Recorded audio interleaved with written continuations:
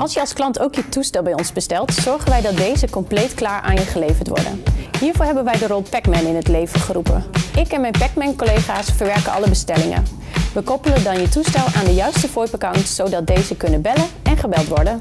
We halen je toestel uit de doos en stellen hem dan voor je in.